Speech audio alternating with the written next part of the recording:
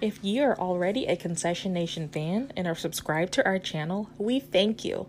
If not, what are you waiting for?